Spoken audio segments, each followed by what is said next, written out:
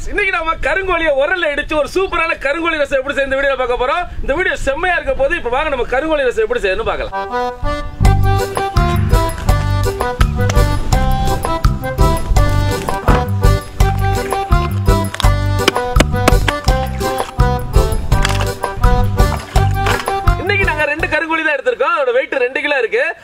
மசாலாவில் மசாலா அந்த தான் வீடியோல சொல்லியிருக்கோம். கோழியை உரல்ல போட்டு இடிக்கிறதுக்கு முன்னாடி கோழியை நல்லா வாட்டி அது நார்மலா வெட்டி மஞ்சத்தூள் போட்டு நல்லா அலசி ரத்தம்லாம் போனதுக்கு அப்புறம் தான் உரல்ல போட்டு இடிக்கணும். இப்போ வாங்க நம்ம கோழியை எந்த அளவு இடிக்கிறதுன்னு பார்க்கலாம். கோழியை நல்லா மஞ்சத்தூள் போட்டு வெட்டி அலசி வச்சிருக்கோம். இப்போ உரல்ல போட்டு இடிச்சுக்கலாம். எலும்பு எடுக்க தேவையில்லை அதை அப்படியே இடிச்சுக்கலாம்.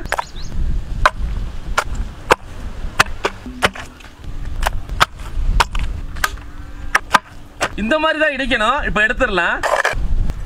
கருங்கோழி ரசம் அப்படின்னு பேர் வச்சதுனால புளியெல்லாம் கரைச்சு ஊத்த போறது இல்ல கிராமங்கள்ல நான் வச்ச இந்த மாதிரி இடிச்சு செய்யக்கூடிய சூப்பயிர் ரசம் அப்படின்னு தான் சொல்லுவாங்க.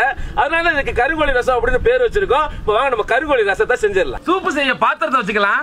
நாம எப்போ யூஸ் பண்ற? அலையாத்தி மரச்சக்கிலாட்டின சுத்தமான நல்லெண்ணெய் ஒரு 150 ml ஊத்திக்கலாம்.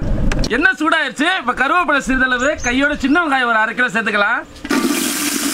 வெங்காயம் போட்ட உடனே பட்டைக்கிழமை மிளக பொடி அஞ்சு கிராம் போட்டுக்கலாம். வெங்காயத்தை ஓரளவு வதக்கிக்கலாம். இப்ப தக்காளி கால் கிலோ ஆறு பச்சை மிளகா போட்டுக்கலாம். அடுத்து இஞ்சி பூண்டு பேஸ்ட் 200 கிராம். இஞ்சி பூண்டு தக்காளியை நல்லா வதக்கிக்கங்க. மசாலா அடி பிடிக்காம இருக்க சிறிதளவு தண்ணி ஊத்திக்கலாம். இப்ப இடிச்சு வச்ச கருங்கோழி ரெண்டு கிலோவை சேர்த்துடலாம். கருங்கோழியில லெமனின் அப்படிங்கிற பொருள் இருக்கு. இது நரம்புகளுக்கு வலு சேர்த்து நரம்பு தளர்ச்சி வராம பாதுகாக்குது. அதே போல நிறைய மருத்துவ துறைகள்ல இதை மருந்துக்காகவே பயன்படுத்துறாங்க. நிறைய நோய் எதிர்ப்பு சக்தி இருக்கு. நீங்க கோழி பாக்குறதுக்கு கருப்பா இருக்கிறனால அருவருப்பு படாம கண்டிப்பா உங்க உணவுல சேர்த்துக்கங்க. ரொம்ப நல்லது. இப்ப நாம கருங்கோழிக்கு மசாலாக்களை சேர்த்துக்கலாம். கருங்கோழி நல்லா கிளறியாச்சு. இப்ப சிறிதளவு தண்ணி ஊத்திக்கலாம். அடுத்து ஜீரகத்தில் இருபது கிராம் கரம் மசாலா பத்து கிராம் இதுல சேர்த்துக்கலாம். நல்லா கிளறிக்கங்க.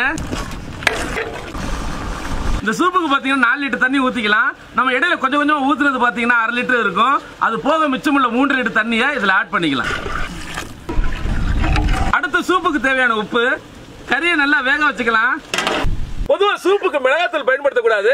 நம்ம சூப்பா குடிக்கிறதுனால அதோட காரம் ரொம்ப கடுமையா இருக்கும். அதுக்கு பதிலாக உங்களுக்கு எவ்வளவு காரம் தேவையோ அந்த அளவுக்கு பச்சை மிளகாய் சேர்த்துக்கலாம். இப்ப கருங்கோழி நல்லா வெந்ததும் உப்பை சரி பார்த்து கடைசியா மிளகுத்தூள் புதினா மல்லியை தூவி விட்டு சும்மா சுட சுட குடிச்சோம்னா சுவையான கருங்கோழி ரசம் ரெடி அரை மணி நேரத்துக்கிட்ட ஆயிடுச்சு. கறி நல்லா வெந்துருச்சு. இப்ப கடைசியா மிளகுத்தூள் பத்து கிராம் புதினா மல்லத்துல சிறிதளவு தூவி ஒரு கொதி கொதிக்க விட்டு இறக்கிடலாம்.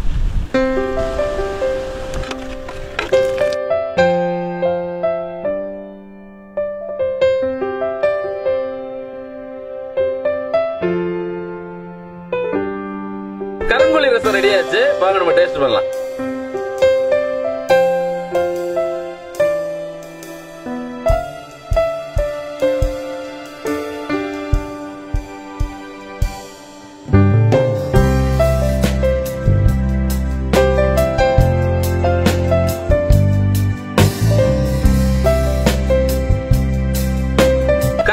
ரசம் காரம் சாரமா செம்மையா இருக்கு.